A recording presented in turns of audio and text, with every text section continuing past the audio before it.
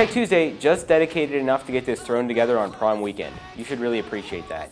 I'm Liam Spore. Number five, Google is falling on some hard times with the once fabled phone to end all phones. Now, this wasn't really the phone to end all phones, but more like an HTC smartphone with Google slapped on the side. That didn't really help it kill the iPhone, needless to say. Compounding Google's issues was its choice to go T-Mobile exclusive, but only sell the actual handset online at their Google store. This plan hasn't gone over so well. So bad that they are now completely phasing out their online store in favor of retail stores. It may prove to be too little too late as Verizon and Sprint already chose to find other HTC Android phones to be their feature smartphones. Google does have a lot of cash to burn in their new adventures into markets like this, but it's another failed attempt at dismounting the iPhone dynasty. Come on Google, you own the internet, like get it together. Number four, Sony seemingly was giving up on its high-end photography and video share to Canon and Nikon, but that's all changing with the NEX-3s and NEX-5s. Due out in June for $550 or $700, they are set to be the smallest cameras with swappable lenses.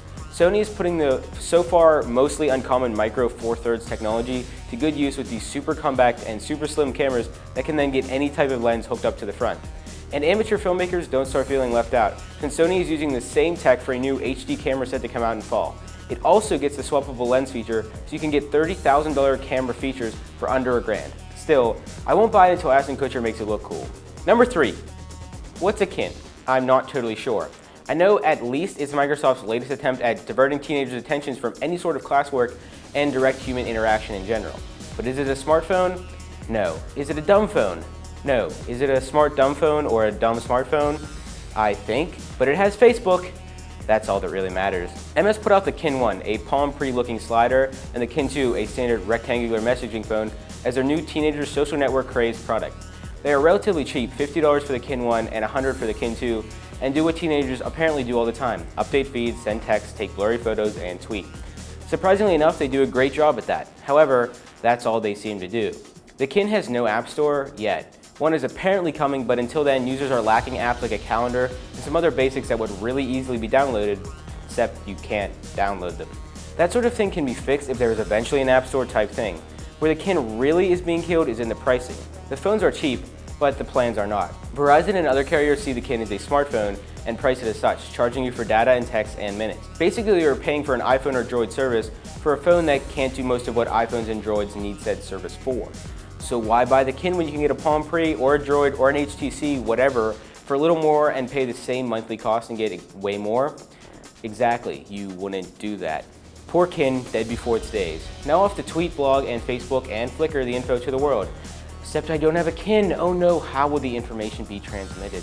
Number two, gamers out there who also like functional and intuitive OSs will be happy to know that Steam is now available for Macs. Steam is free and will work in happy harmony with your PC if you already have an account and downloads. Even better than this new way to get legit gaming on a Mac, Valve is offering Portal, one of the most addicting and clever games out there, totally free until May 24th. That means all you Mac heads should get out there and get it free while you can. Along with Portal, there is another 50 some games available and Valve is promising to come out with at least one new game a week every Wednesday. Keep on the lookout for Left 4 Dead and maybe Team Fortress 2.